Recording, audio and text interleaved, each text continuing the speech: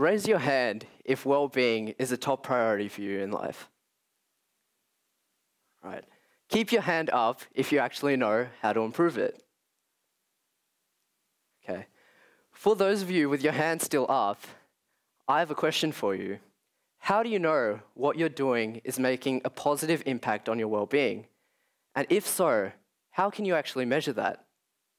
It makes a difference if you feel a difference, not just because some online article says so. If an online article told you to drink seven cups of green tea a day, and at the end of the day you felt like vomiting, it's not really doing much for you, is it?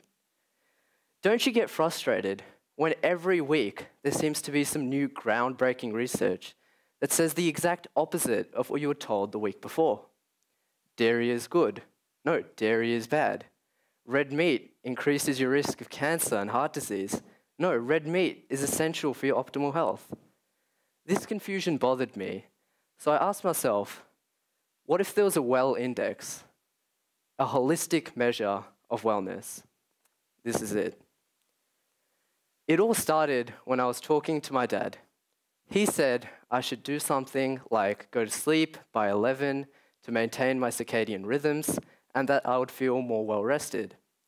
And I said, well, as long as I get my eight hours of sleep, I feel well rested either way. So if I feel the same either way, what's to suggest who's right other than a generic online article that might not apply to everyone? I wanted to know if any of this has a measurable impact on well being. If he said, say, yoga is better, and I said, nah, running is better, which one makes more of a difference in the numbers and ultimately who would get the satisfaction of knowing they're right and those sweet bragging rights? Ancient wisdoms were based on the observation of our elders. Today, we live in an age of data, and we can leverage that data to turn these wisdoms we've always believed to be true into fact. For example, it's been believed for eons now that we should be awake during the day and asleep at night. But now, with technology like sleep trackers and wearables, we can see what works better for us. We can see the proof that sleeping at night is helping us to achieve those rhythms, makes us feel more rested, and we can see the proof of those ancient wisdoms we've always believed. This watch I'm wearing has formed an image of me based on the data it's collected from my day to day activities. It can tell me if what I'm doing is working for me, and it can provide me insights on how to improve. My generation listens to this data in the same way older generations listen to what their elders told them. Neither approach is wrong, but in the age of technology we live in today, we can seamlessly merge these and we can quantifiably see what effect certain practices are having on our well being. This includes not only the body, but the mind and the soul too. And that's what Well Index is a comprehensive, holistic measure of wellness. It will help us all in understanding what we each need to do for our optimum well being. I realize that well being is not purely physical, and these other aspects are not being considered in current fitness applications. Physical health is really over prioritized, and other critical aspects of health, like emotional or mental health, are often ignored. Wellness is a conscious, self directed process of achieving your full potential. It is multidimensional and holistic and encompasses our lifestyle, environment, everything we do. If I was to ask you right now where you live, you might think I'm a bit creepy, but then after that, you're likely to give me your home address.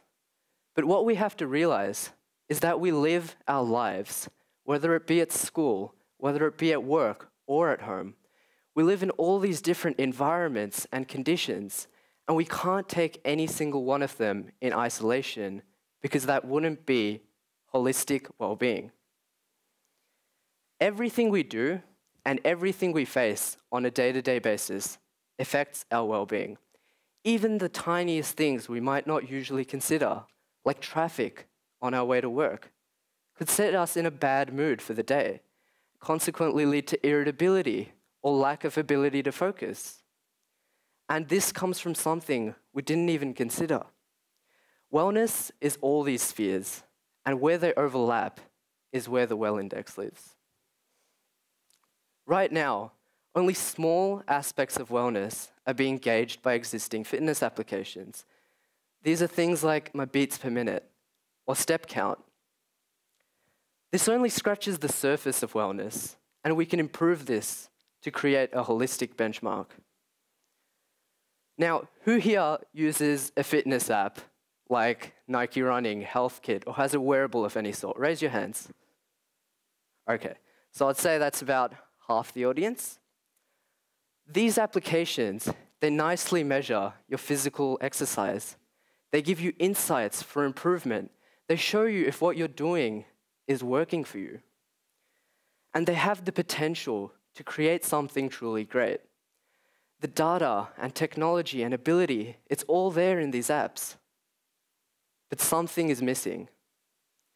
What if you had the opportunity to create a holistic benchmark, to compare the options and personalizing them for you in order to achieve your best well being, not purely physical. You might ask, why don't you have that already? Well, because tracking different specific factors between different platforms is a hard task.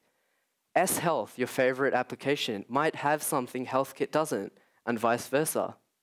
As such, combining these onto a holistic platform, sorry, a platform with a holistic measurement seems to be the best solution.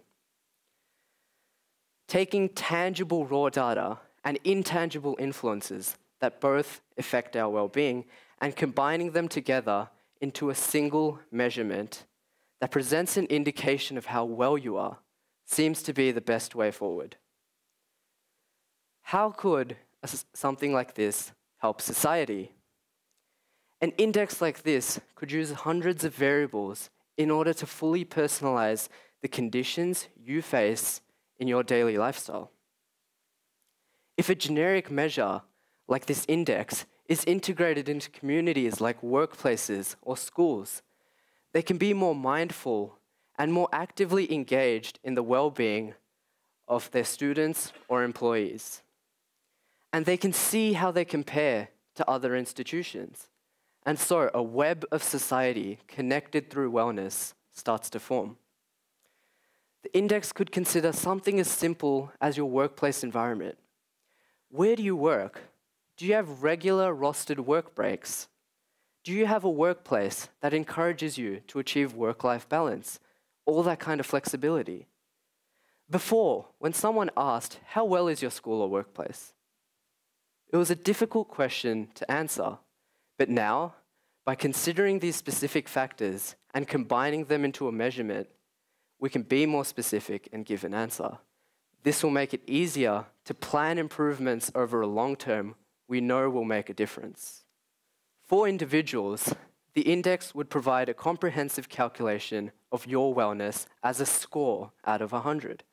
For example, 82 out of 100 could be your personal score based on how thoroughly you can realize what factors come into play to affect your well being, the more accurate this score will be in reflecting you.